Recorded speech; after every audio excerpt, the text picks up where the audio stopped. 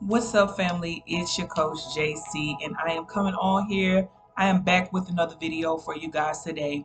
I am a life and purpose coach, and I help women to own her. I help women and men alike to step into their purpose.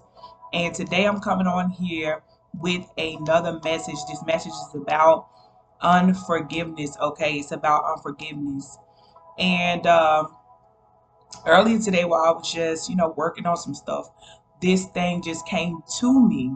And so I said, well, I need to share this with everybody. I need to share this because maybe you are dealing with unforgiveness and you don't know how to forgive.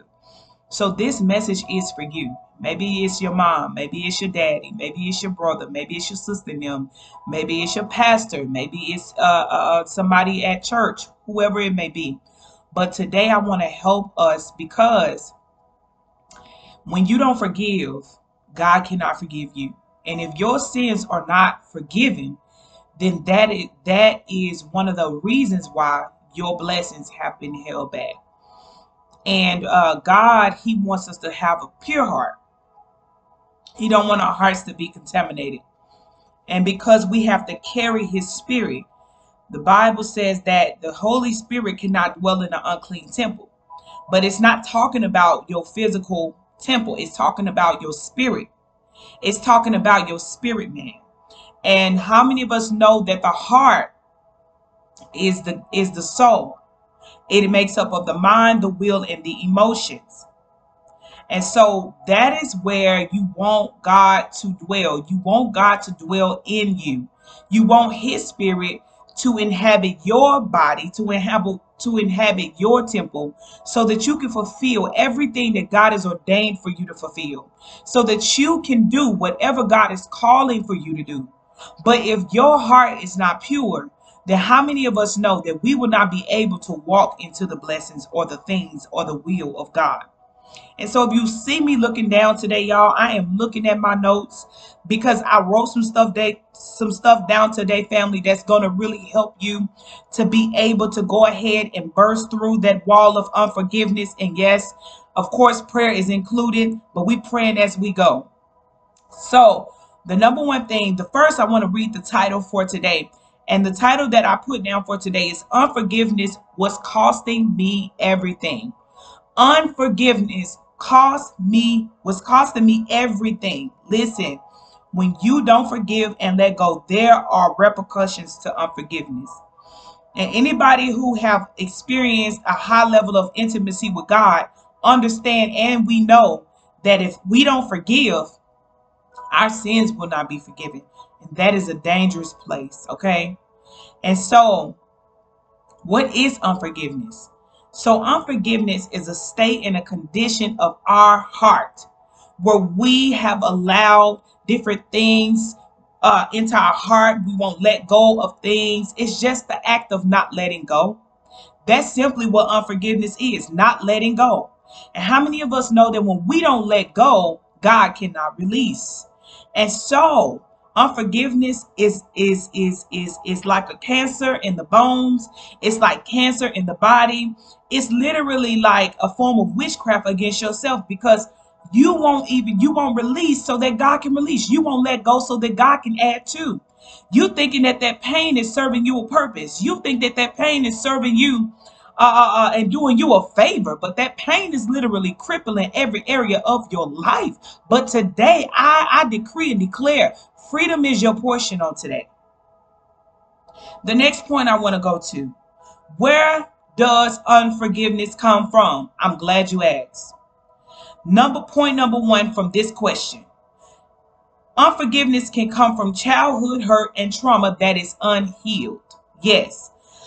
Unforgiveness can come from a childhood pain or childhood trauma that is simply unhealed.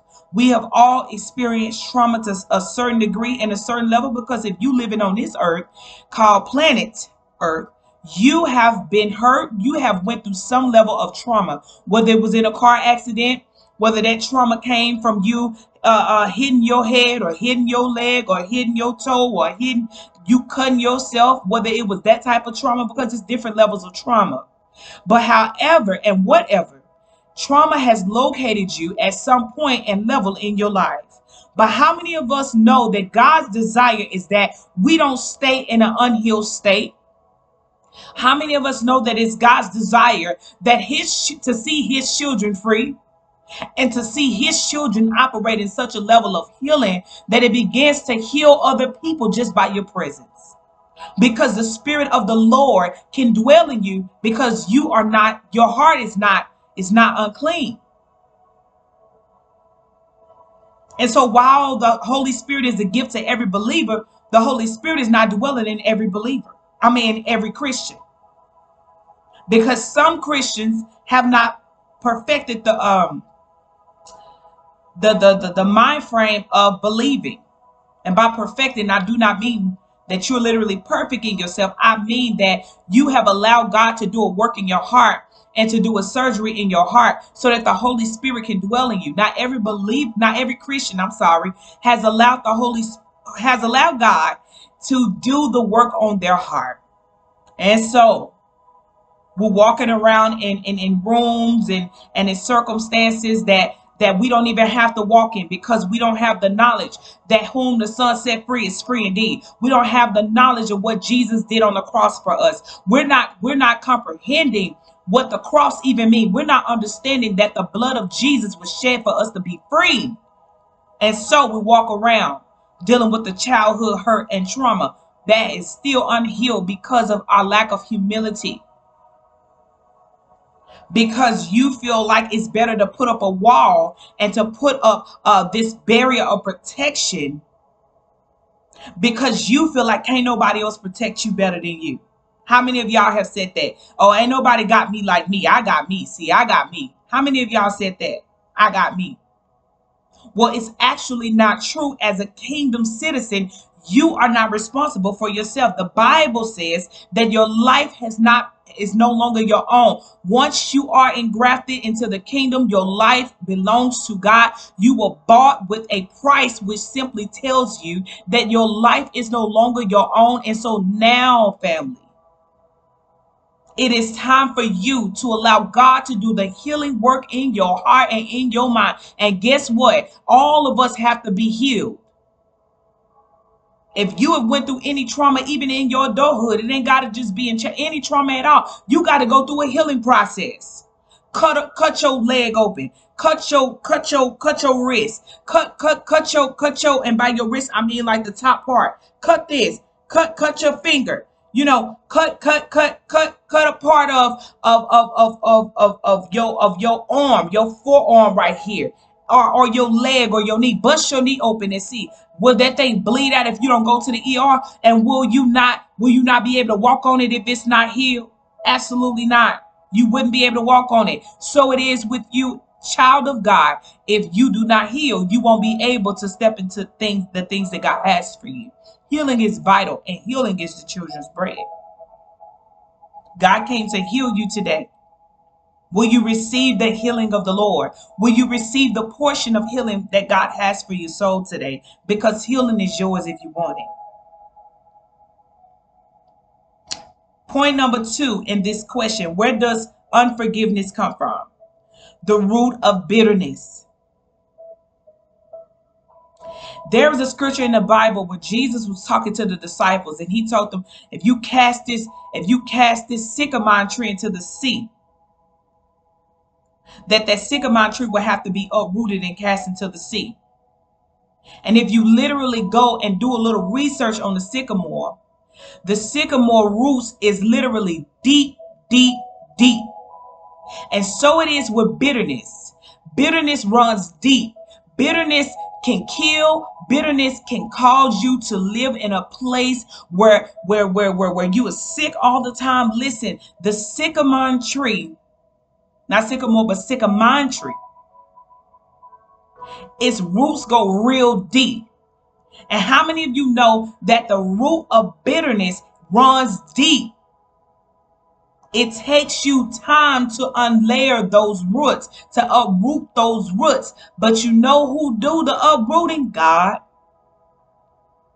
So then you have to have a level of humility, family, to be able to allow God to begin to pull the roots of unforgiveness up and bitterness out of your heart because it was so much that happened to you as a child. It was so much that happened to you when you lost that marriage, when that man walked away from you, when that woman walked away from you, when you lost your child, when you lost everything. That stuff caused trauma. And how many of us know that that stuff runs deep? So today I command your sycamore tree to be uprooted in the name of Jesus and we cast it into the sea. Today you will walk in your healed place. So I'm going down to my next point.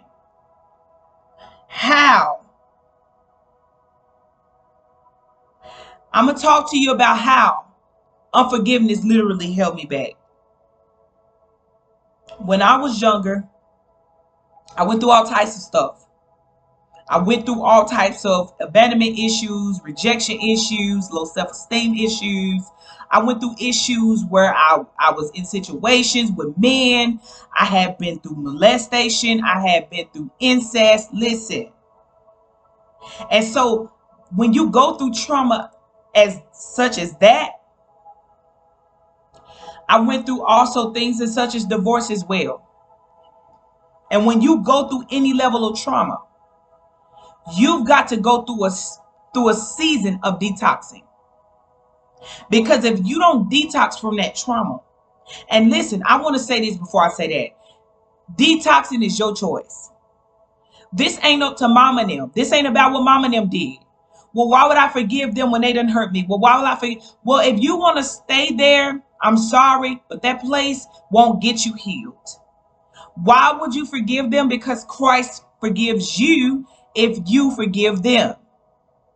And if you don't forgive them, with all of your many sins, and as they are red as scarlet, meaning they are there is much. And you want God to turn around and forgive you. But God said, I can't even forgive you. I want to. My son died for you to be forgave and forgiven. It's already done for you. It was paid for already. But literally, if you don't allow me, if you don't allow me to heal you through you forgiving them, then how will I be able to if you don't if you don't allow me to heal you through forgiving them then how will I be able to uh, forgive you? So many of us are held hostage. Many of you are held hostage because of your lack of unforgiveness. So why should you forgive them? Because you want to be free how many of y'all feel bound incapable of going to the next level feel like your destiny your purpose is locked up Feel like somebody else got the key to your life. Come on, who am I talking to? You feel as if though nothing is shifting for you and you prayed and fasted. Listen, don't you know in Isaiah, the chapter, the book of Isaiah, when God teaches us how to fast, that a part of that fast is checking your heart. Don't you know that a part of checking your heart is forgiveness? And listen, I understand it can be hard. But it's possible because God told us through him all things are possible. See, you've been trying to forgive them in your strength, but you haven't went to the master, the one who is the healer of your soul. You haven't sat there long enough and talked to him about everything that pained you and ate you because you're still trying to hold on and you and, and to the unforgive the pain that it cost you. You're so familiar with the pain that you haven't taken out time to go to the master, go to God, go to Abba, the one who loves you as a father, the one who hears you as a counselor, the one who will redeem you as a savior, as a savior. You won't go to the healer, the one who uh who can restore your soul and as he leads you beside the still waters. You've been leading yourself for too long.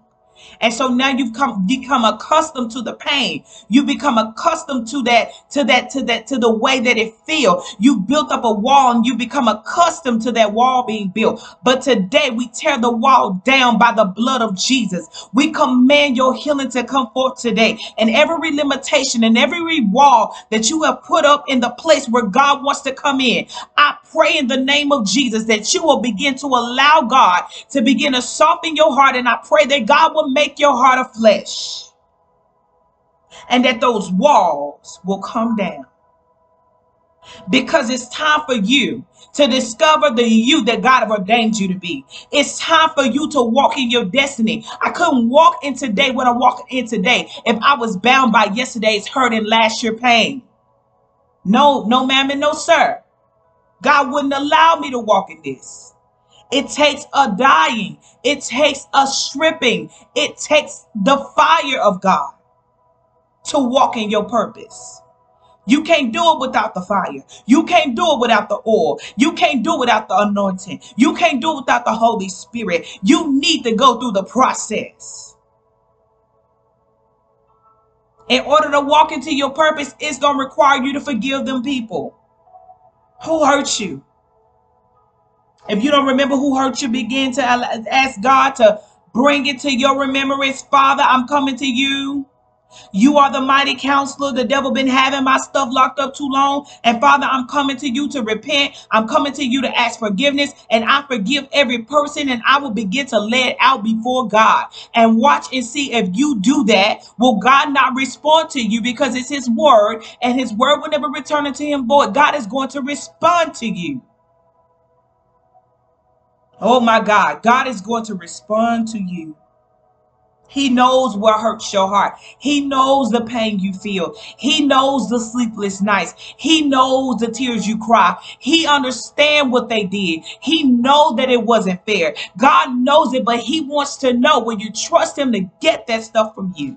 Get it out of your hands and put it in the hands of God by spending time with him and you release everything you could think of. And then you keep on asking God, reveal, reveal, reveal, so that every person that who, who, who you who you bring to my remembrance, God. I just want to be free. Keep revealing until I see every name that I need to repent and pray and, and release a blessing over them and forgive them and let them go. Because there's some people who still walking under walking under a curse because you haven't prayed for them. Because they molested you. Because they they they raped you. It was your own family. It was incest coming from the bloodline. And they and, and, and you see them and they and it's just like a curse came up on them. Mandre bebe sokor But you are the bloodline breaker. That thing didn't come to destroy you. God is too big to allow something for a chosen one to allow something to happen to his chosen one. Listen, I've been there. I had to forgive the family members who molested me. The one that that that uh that that that made it seem like it was okay for me to sleep with them and then my virginity was gone. Listen, I had to allow God to heal that place so I could walk fully into the things of God, so that I could step into my destiny, so that I could step into my purpose, so that my gifts will be unlocked. Listen, you don't know what you're holding back as you hold back from God. You don't understand the things that you are missing. You don't understand His freedom on the other side. You don't understand your deliverance is on the other side of you forgiving them. Those prayers you've been waiting to be answered for for years. God said, if you release them today, I will release you and I will release the answers unto you. I will release those prayers that you've been praying to me for years and I will heal your body. I will do a new thing in your body. I will do a new thing in your mind. I will do a new thing in your heart.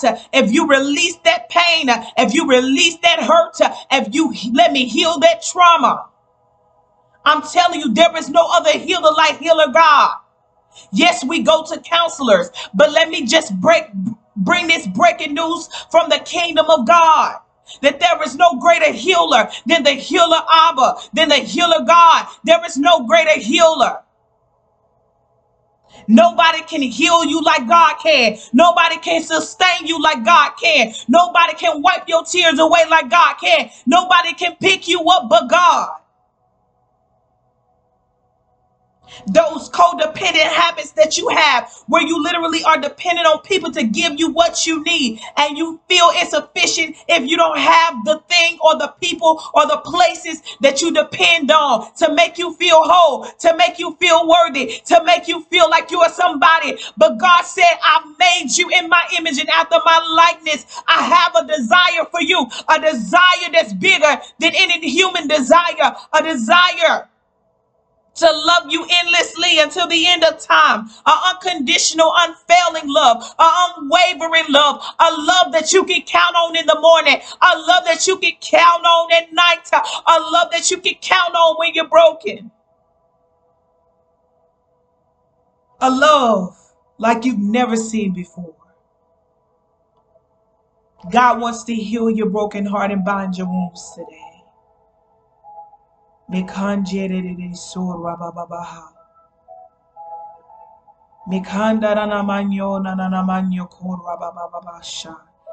Father, send your healing to your children today.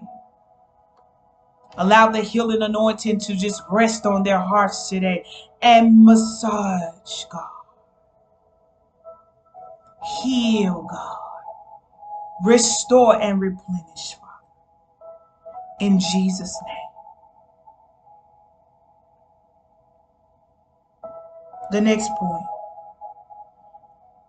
The moment that God released me was the moment that I released it. We talked about it already. The moment that I released the burden, what people did to me, how it made me feel to God, I was free. I'm talking about almost instantly. And I began to see my everything that God had for me. It was also my season of purpose. But everything God had for me in that moment, it began to unlock. I'm talking about new rooms. I begin to walk in new rooms.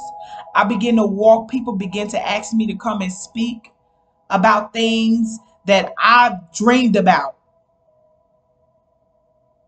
about topics, about things that I had to walk through. And I, they didn't even know me yet know really much about me and just ask me to come and speak for them. Listen,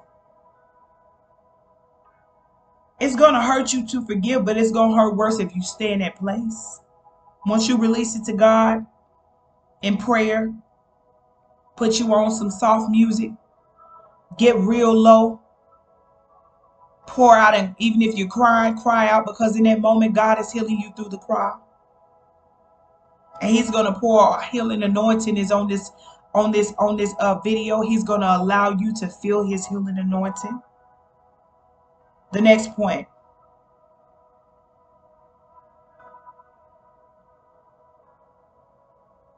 Pray to god. This is oh yeah the question how do you be free? How can you be free? You're going to pray to god and pour it all out as i said before God said, a broken spirit and a contrite heart, he will not despise. Me, he will not turn you away. For some of you all, this is how the generational curse is going to break every single one of them. When I finally surrender my life and surrender my heart to God, sorry, y'all, the camera lens is up. When I finally surrender my heart and surrender my mind to God, and I surrendered me to God. I sur- began to surrender. It was at that moment that not only did purpose collide with his timing, but generational curses, things that I had been struggling with for years, began to break. And even if the devil try to bring up something, it doesn't work because I have entered into covenant with God. When you surrender to God, you enter into covenant with him. And if you're in covenant with God, God is keeping his covenant and watching his word over your life. And it is nothing that the enemy can do to destroy you or overtake you. And that means those generational curses will be broken. Just like that. Some of you need to surrender your will for his today. The next point. Ask God to reveal anyone you need to forgive and then Pray until you see the release. I've already said this earlier. I think the flow came and I just, you know, I wrote these down, but the flow came before I got to the question or the point in the question. But you're going to literally take time to pray and release it all. Don't leave nothing out. Treat God like He's the only one you got because it's true. He may put other people around you, but He's the all sufficient one. He may put other people in your midst to help, and they love you, they do, but He's the all sufficient one. Will you trust Him as all sufficient today? Will you take your eyes off of the crowd and trust the all sufficient God today? The last point you're going to make, you're going to ask the Holy Spirit to give you the spirit of forgiveness because as you're doing all of this, you're being transformed as well. And you're going to need the Holy Spirit to help you. So you need to ask Him, I want the spirit of forgiveness. I command it to enter my heart. I pray that the spirit of forgiveness would overtake my heart. It is my portion. You got to remember life and death lies in the power of your tongue. And whatever you speak, that is your portion. Once you've entered into covenant with God, there is nothing that can stop you, child of God. It's time for you to break the limitations off of your life through forgiveness. I love you guys. I'm praying for you that the Lord will bless you, increase you, bring you into your destiny and your purpose. If you have not already heard, I do do one on one coaching at this moment. I do do one on one coaching, and all of my information um, will be posted very soon because I have to make it known to more people what God is doing in my life. So stay tuned for the link to my one-on-one coaching because to anybody who wants to get coaching on purpose, you you you heard a message that I may have God given and you just want to connect. What I want you to do is I want you to continue to be on the lookout. Inbox me and let me know I want to connect because there's coming a time and an hour where God is requiring more and He's requiring you to step up and to step into your destiny and into your purpose. That forgiveness is going to work for you, it's going to serve you. That pain is going to serve you. So let me help you to get into to get into position so that once you are in alignment with God, you can now experience the goodness of, of, of the Lord and all his promises that he spoke over you. You will begin to see them one by one. And I prophesy over you that you won't hesitate when I do send the link and I begin to put the link in my in my information section, in the description section, that you will begin to say, you know what, God, I'm ready to step into my purpose. I have been listening to Coach JC for over a few days, weeks, months, whatever time you've been watching this. And it is now time for you to invest in yourself so that you can go to the next level. How many of us know that God put everybody in position to help? It's not about fame or fortune, but it is about the kingdom. And so when we get in position, step into our purpose, there's a whole tribe waiting for you. And don't you know when we get in position, step into purpose, don't you know that you will help and build the lives of generations and somebody else's legacy is being built because you said yes to God? Listen, don't hesitate. I want you to actually continue to seek the face of God. Continue to show up and invest in yourself by listening to these videos. Get the knowledge. And and guess what? I love you. And I will see you in the next video. God bless you for now.